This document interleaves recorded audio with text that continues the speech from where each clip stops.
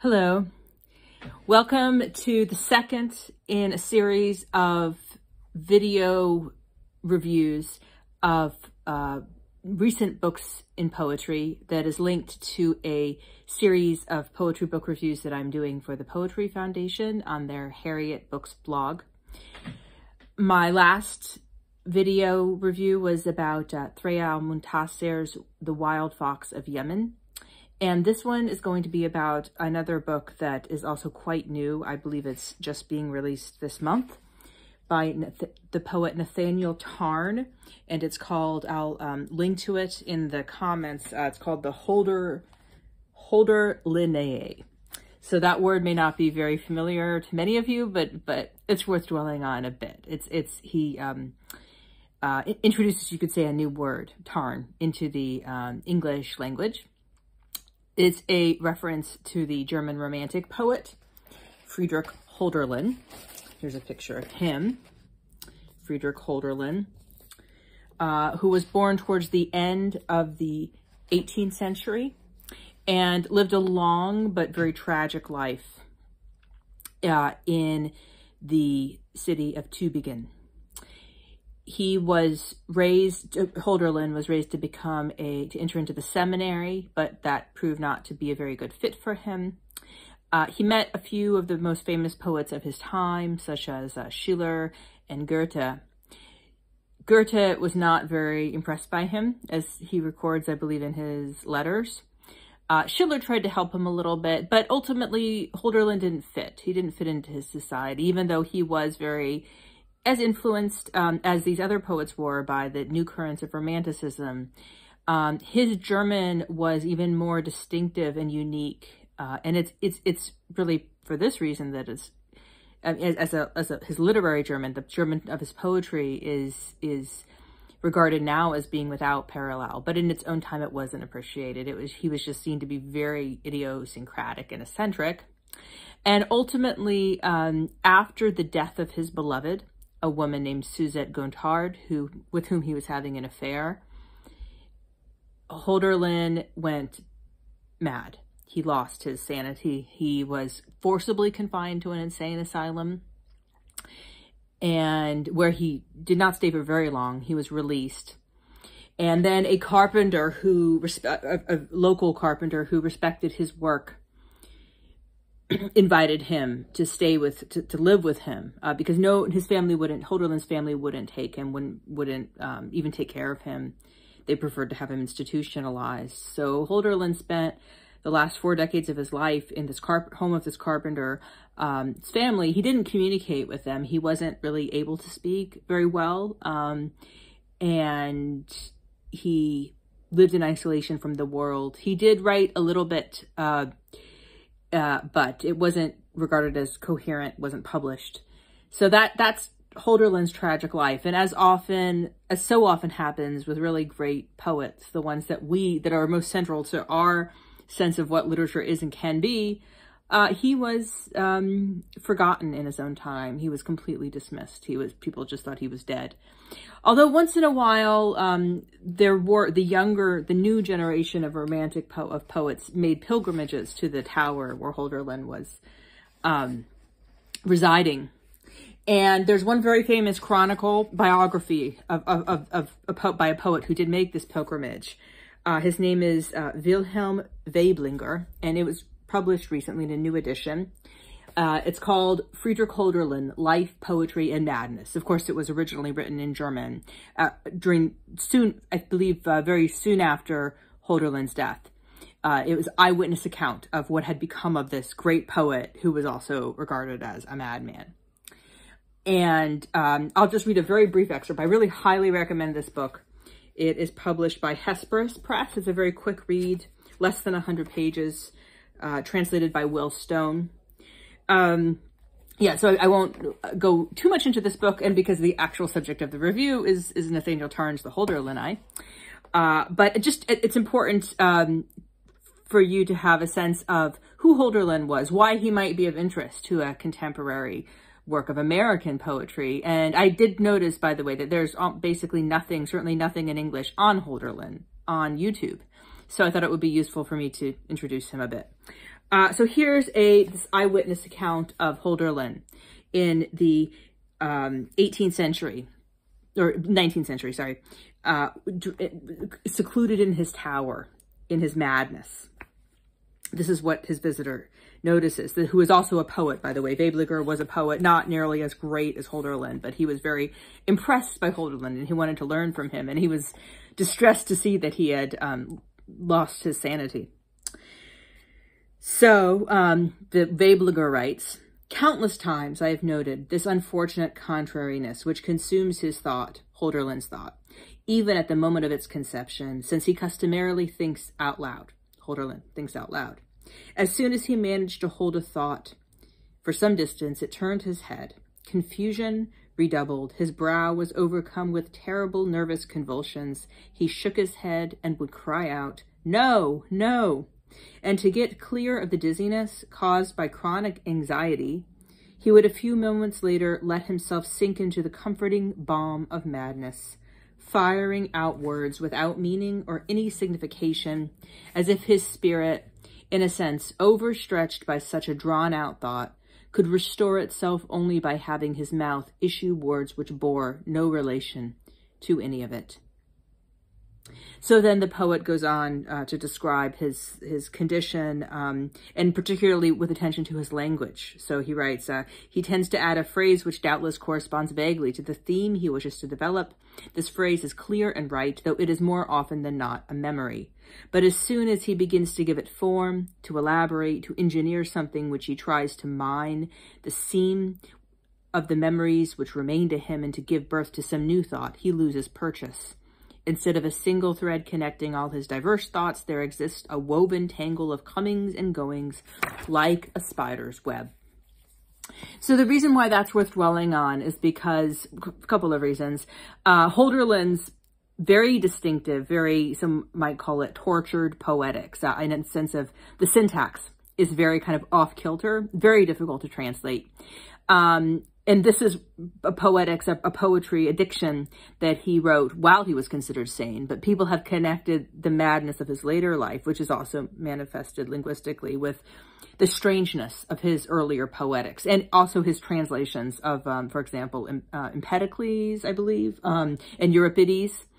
Um, these, they were not, they were, although they later attained, um, popularity. In its in the time time of their publication, they were reviled and thought of as just too bizarre for a German readership.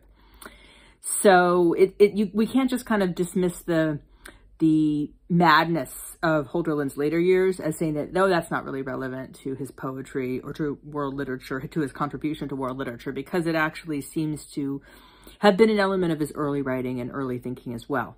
And so here's where um, Holderlin, uh, and the Hölderliniae by Nathaniel Tarn comes in. So uh, that's just the, Hölderliniae is Latin plural of Holderlin's name. Of course, that's the invention of Nathaniel Tarn, but it's his way of performing an homage to this very great poet. And I, I just thought it was worth mentioning, dwelling, beginning, I should say, with Holderlin's Madness, because in the review, which I'll link to, uh, that was published uh, by the Poetry Foundation, um, I, I, think it wasn't clear or it wasn't known to the readers, the initial readers of that review, that Holderlin was suffered from men severe mental illness.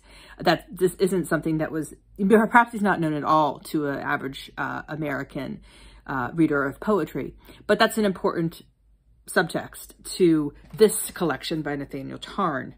I think it's it it Tarn is suggesting that that Holderlin has a, a very special way of seeing the world, a very special connection with the cosmos, not just with humanity. And so this these Hölderliniae uh, in this book, uh, there are 30 poems that, that are each called the Hölderliniae. It's, but the you can see in the first page of the book itself, it just says um, the a poem so in other words, we can treat this as a kind of epic or an epic biography of the poet Friedrich Holderlin, an epic homage. The, uh, like Holderlin, who, who violated the rules of German syntax, so does Nathaniel Tarn violate the rules of English syntax. He mixes prose poetry with verse, even rhyming verse. Uh, some of the text here in this English American poem is translation from Holderlin's German. It's a very innovative kind of work and uh, very difficult to read. I won't pretend that it's that it's it's easy or pleasant. Uh, it isn't. Uh, but but I think it's it does justice to the poet himself, to Holderlin, um, through the way that it brings you into confrontation with your own mortality and with the cosmos. And I'll just read one very brief, uh, the last stanza of the first Hölderliniae to kind of give you a taste of this book. Then I'll say a little bit about Nathaniel Tarn before I conclude. So I should also say that these these 30 Hölderliniae, which are poems, including prose poems, it's prefaced by a very useful biographical note on Holderlin's life that will tell you in different words some of what I've already told you about Holderlin's difficult life. So here's the last stanza of the first Hölderliniae. Among great hymns, odes, elegies, and fragments, he spoke it first wrote of it first, Mich reizt der Lorbeer, Ruhe begluckt mich nicht. And this is the translation. It is the laurel that I want, not peace and quiet. Singer of rivers reversing time, if there is a single drop of life left in this man, this man is being slowly murdered. It is because of him, become of him because he lived and died among the dying peoples, the deaf, the paralyzed, the gods. Death has a thousand cards to play, life only one. I love that ending because it really gives the reader a sense of the the miracle of existence. And sometimes we think of death as being the kind of inevitable fate that greets us all. But what the this last line suggests, death has a thousand cards to play, life only one is that death is what is random and life is kind of what you make of it. There is a death, even you could say in true German romantic fashion, there's a destiny that awaits us all. And that is what life gives us. So that just gives you a very brief uh, sense of these Holderlin poems. I wouldn't necessarily recommend reading it like from cover to cover. I think it's the kind of book that you you look at from, you know, maybe read one a day as a kind of almost uh, like a spiritual meditation um, even if you don't believe in God, not necessary, but but I think that might be a good way to begin every day because it, these are very mystical poems about the cosmos, about death, about mortality, and about Holderlin and his madness. Um, and uh, yeah, I think that would be a satisfying way of reading these poems. Um, and then just uh, just to say a few things about Nathaniel Tarn and what drew me to this book. So, like me, Nathaniel Tarn began his professional career as an anthropologist. He conducted research among the Native Americans of uh, New Mexico, where he actually lives now. And he was very interested in the, the links between poetics and anthropology and ethnography and the kind of way in which good poetry has a strong ethnographic imagination. It's not, it's about the outer world. It's about the worlds of cultures and peoples that we may not um, have been born into that aren't necessarily representative of ourselves. It's an encounter with otherness. That's something that really relates to me as well and to my poetics. And also, um, Nathaniel Tarn, although he was very, very successful uh, in his professional career as an anthropologist, he left it ultimately because he felt that academia was just too stifling, too bureaucratic, could not really provide a space for him to truly be a creative writer. And then he worked in publishing for a while. He did part-time teaching, but really he's mostly lived his life as a recluse um, and has not, I, I, kind of admire that, you know, he's not um, sought fame and fortune of any kind. He just lives in, in New Mexico and doesn't give a lot of interviews, uh, but his poems, and his poems are difficult and challenging, but he really pushes the reader to kind of think outside of their own space and time. So that's my latest recommendation of new poetry books. And also, while I'm on the subject of Holderlin, I also want to conclude by recommending some books by and about Holderlin. So this probably, perhaps the best translation that I'm familiar with of Holderlin is published in Princeton's library, Princeton, Li Princeton University Press's Lockert Library of Poetry in Translation series. The translator is Richard Sieburth. His introduction is absolutely amazing. I really, I mean, it's, it's the beginning of my encounter with Holderlin. It's a brilliant introduction. And it's a bilingual edition of Holderlin's um, poems. So I would definitely recommend beginning with this. Another book I recommend is Holderlin's Essays and Letters, published by Penguin Classics.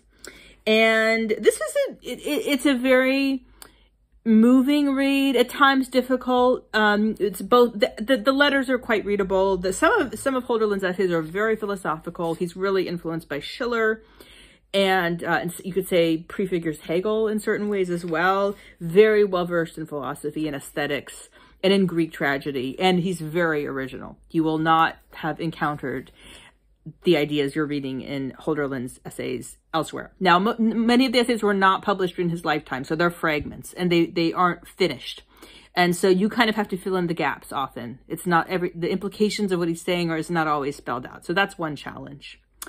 I hope you, this has uh, done a job of introducing you to Holderlin and inspiring you with, with Holderlin's poetry and also uh, made you want to learn more about Nathaniel Harn, Tarn. So stay tuned for the next review coming up in a few days.